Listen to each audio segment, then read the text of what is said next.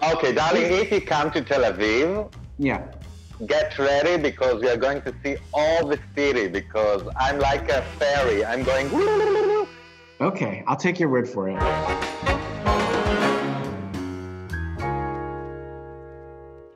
Hi, I'm Seth MacFarlane, and welcome to the Peacock at Home Variety Show, benefiting great organizations like AmeriCares, Feeding America, and United Way, all of whom are working very hard to assist those in need during this pandemic. And we want to wish everyone a happy Memorial Day as well. I want to say thank you to the brave men and women who have given their lives to make ours safer. We honor you, we salute you, and we thank you. Well, I'm very happy that you all uh, are enjoying the show. I have received your letters. I have not opened any of them because they could be covered in disease. But rest assured, they're sitting in my yard, and I look forward to spraying them with Lysol if it ever becomes available again. Well, tonight we have a very special guest. This guy is one of my favorite comics. We're thrilled to have him here on the show. Folks, here is Fred Armisen. Hi, I'm Fred. I'd really like to try doing a travel show.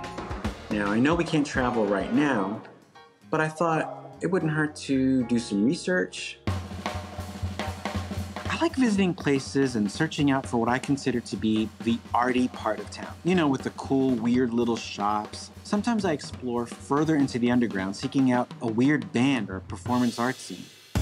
Where should I go? What's a cool place where I can find something unexpected? And I mean truly unexpected. Maybe I can find some people to talk to about cool places to go. My research starts today.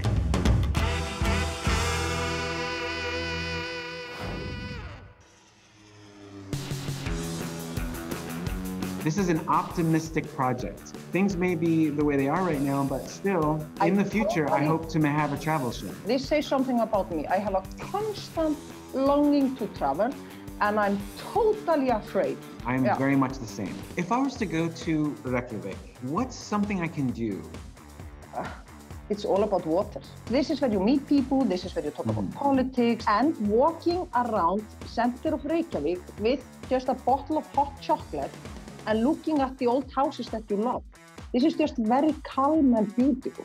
This sounds great, Yeah. but is there some kind of a band or performer that we could go see? I would take you see the Daughters of Reykjavik. It's a group of uh, Icelandic women that thought, why is it, how come it's only men that are rapping in Reykjavik? That sounds perfect.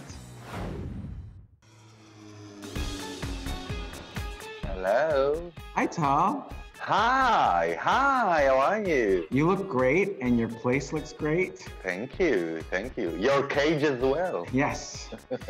Jerusalem and Tel Aviv is just 45 minutes away from each other. Oh, that's pretty Uh, but close. centuries from each other because when you walk in Jerusalem, you feel all the thousands of years of history. In Tel Aviv, you can feel the freedom to be yourself, whatever. If you are gay, lesbian, straight, bisexual, everything.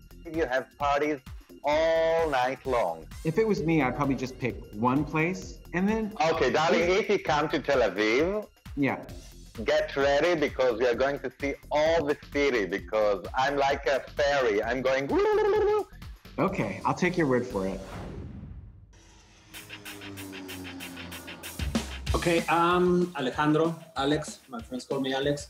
I'm 32 years old. When I'm not doing like journalism, I'm playing with my band, like touring all over Mexico. Oh, what's the name of your band? It's Chingadazo de Kung Fu. It's like a really hard punch, Kung Fu punch. Chingadazo. Chingadazo. Um, what's the venue in Mexico City that you would play?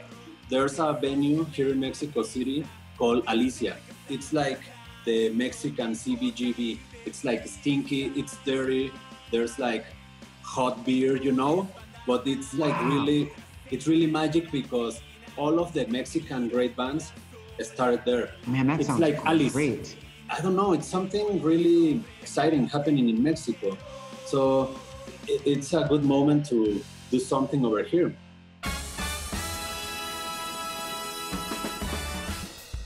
What's something that makes you say, um, oh my God, that person is from Tel Aviv? You need to practice all the. uh, ah. What would be very Icelandic is to talk while you breathe in. Yeah, yeah, yeah, yeah.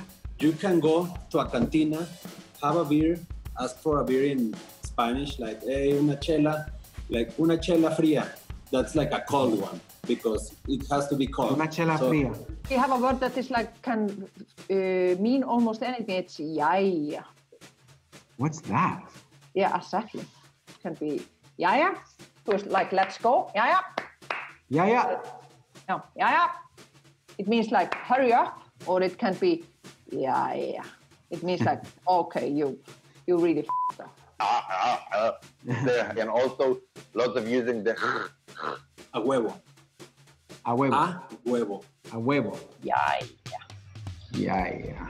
Jæja. Jæja. What did he say? Jæja. Yeah, yeah. Jæja. Jæja. It can also be jæja. Now you start telling me the truth. Jæja. Yeah, yeah. Oh, this is too good. Well, I can't travel now, but I found some really great resources. Michael Palin, thanks for the inspiration. Thanks for watching, and to learn more, go to peacocktv.com slash for good.